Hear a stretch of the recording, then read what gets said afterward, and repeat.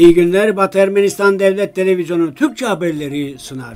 Batı Ermenistan'ın Karin Erzurum'da kesin korunacak hassas alan kategorisinde bir yenisi daha eklendi.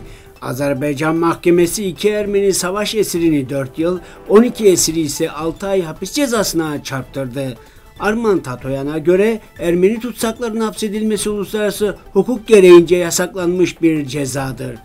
Artsakh Kurtuluş Savaşı'nın kahramanı düşman lakaplı Vartan Stepanyan 3 Temmuz 1992'de şehit düştü.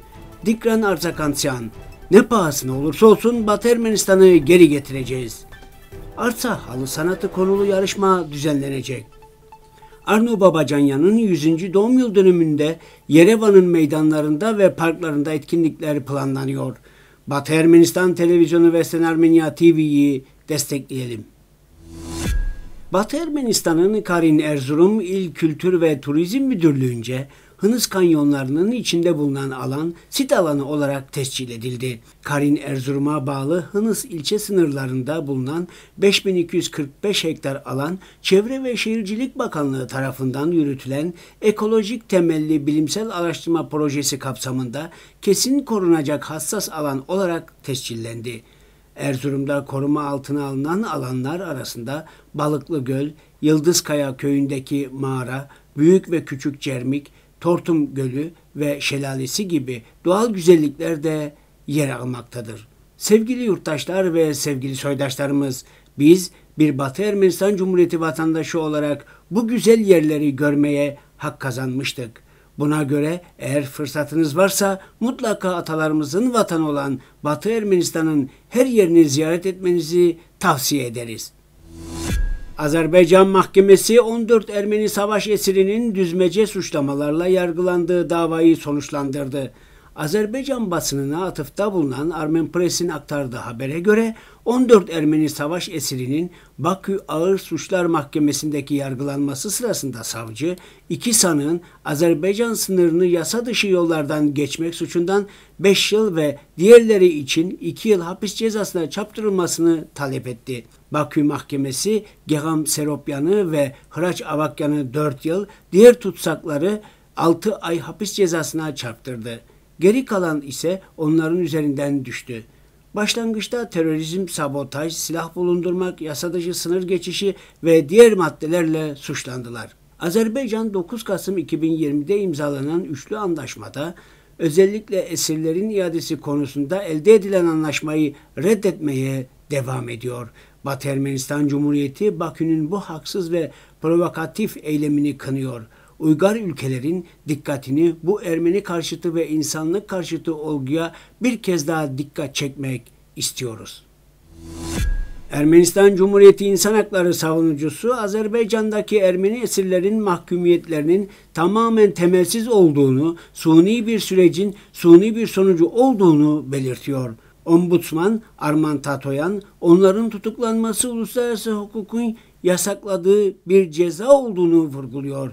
Ona göre Azerbaycan makamları tarafından düzenlenen her yargılamaya Azerbaycan medyasında insan onurunu ve haklarını ihlal eden özel olarak yapılan ve organize edilen yayınlar eşlik ediyor.'' Arman Tatoyan devamla açıkçası bu denemeler dış dünya için bir perdedir.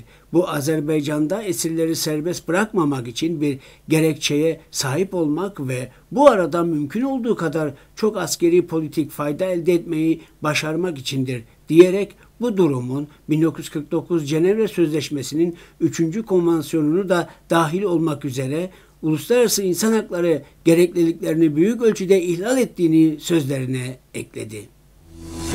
Düşman lakaplı Vartan Stepanyan 9 Mart 1966'da Yerevan'da doğdu. 1973-1983 yıllarında Yerevan'daki Ovanes Tumanyan adlı 32 nolu okulda okudu. 1983'te hava indirme bölüğünde askerlik yapmak ve Afganistan'a gönderilmek üzere askeri komiserliğe başvurdu. 1984'te hizmet etmek ve savaşmak için Afganistan'a gönüllü gitti.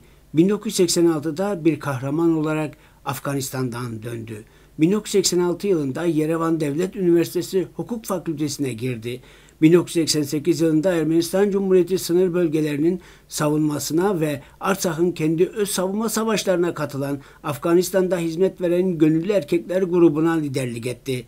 Vartan ilk kez 1988 yılında bir savaş ustası olarak Artsak'a gitti. Artsak'ın ilk ordusunun yaratıcılarından biriydi. 1989-1992 yılları arasında İçevan, Noyemperyan, Ararat, Vartenis, Goris'in, Şurnuh, Arsak'ın Şahumyan bölgesi, Kırkcan, Hadrut, Hocalu, Lesnoy, Malibeklu öz savunma savaşlarına katıldı. Şuşi ve Laçin'in kurtuluşu sırasında müfrezelerden birinin komutanı oldu. Çok sayıda muzaffer savaştan sonra 3 Temmuz 1992'de Ermeni halkının en iyi evlatlarından biri olan düşman Vartan'ın Artsak'ın Martuni bölgesindeki Mürişen köyü yakınlarında silah yoldaşları Yero Armen Yerisyan ve Araik Ara Avakyan ile birlikte şehit düştü.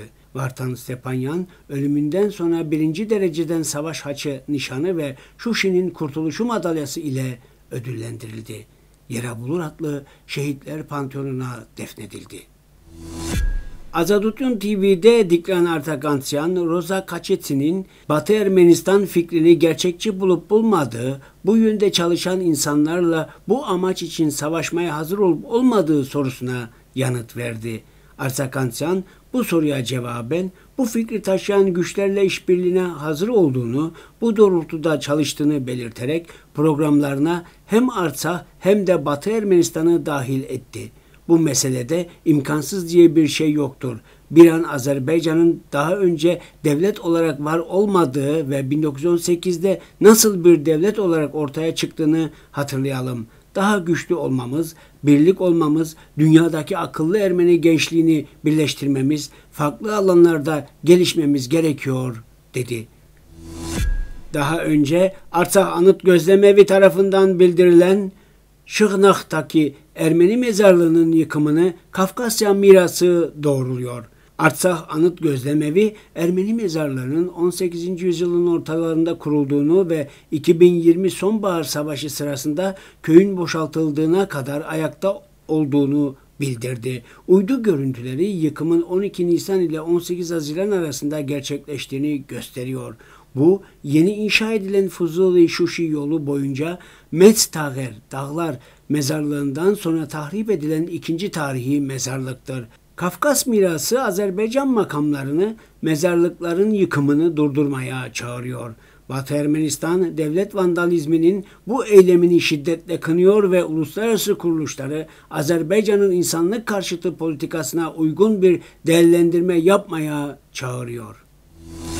Büyük besteci, piyanist, pedagog, Sovyetler Birliği ve Sovyet Ermenistan'ı halk sanatçısı Arno Babacanyan'ın 100. doğum yıl dönümüne adanan jubile etkinlikleri çerçevesinde Ermenistan Cumhuriyeti Eğitim Bilim Kültür ve Spor Bakanlığı himayesinde Ermenistan Devlet Filarmoni Orkestrası Yerevan'da Babacanyan adlı projeyi 3-9 Temmuz tarihlerinde gerçekleştirecek. Armen Press'in haberine göre proje kapsamında Ermenistan Devlet Filarmoni Orkestrası başkentin çeşitli meydan ve parklarında 6 açık hava konseri düzenleyecek. Konserlerde Arno Babacanyan'ın eserleri seslendirilecek. Etkinlikler Merkez İdari Bölgesi'nde Arno Babacanyan heykeli yakınında, Nornork İdari Bölgesi'nde Tatul Kırpayan adlı parkta, Şengavit İdari Bölgesi'nin Garaginlijde Meydanı'nda, Erebuni İdari Bölgesi'nde Vartavar Gölü yakınında, Acapınyak İdari Bölgesi'ndeki Tumanyan adlı parkta gerçekleştirilecek. Sevgili yurttaşlar ve sevgili soydaşlarımız, Batı Ermenistan Devlet Televizyonu Western Armenia TV, ülkemizde ve yurt dışında gerçekleşen siyasi, sosyal ve kültürel olaylar hakkında sizi bilgilendirmeye devam ediyor. Düzenli olarak bin yıllık tarihimizin zengin kültürünü sizlere sunuyor ve açıklıyor. Batı Ermenistan hakkında bu kadar zengin bilgiyi TV ve web sitemizden değilse başka nereden edinebileceksiniz? Öyleyse Batı Ermenistan Televizyonu ve Sen Armenia TV'nin kalıcı yayını ve uzun ömrünü birlikte sağlayalım. Bunun için desteğinize ve hepimizin birliğine ihtiyacımız var. Birlikte daha fazlasını yapabiliriz. Siz yoksanız biz bir eksiyiz. Bugün için bu kadarını öngördük. Şimdi size Ganzasar adlı topluluk tarafından seslendirilen Antranik adlı eseri sunuyoruz.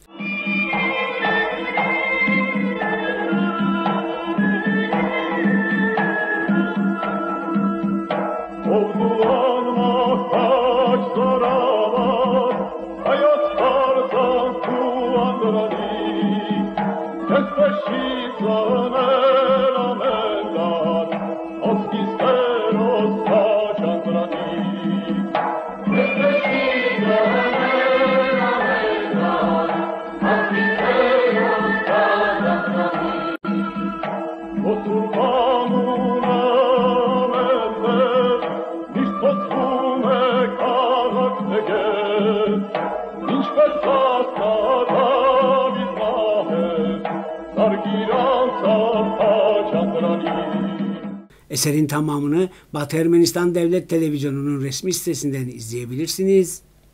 Hoşçakalın.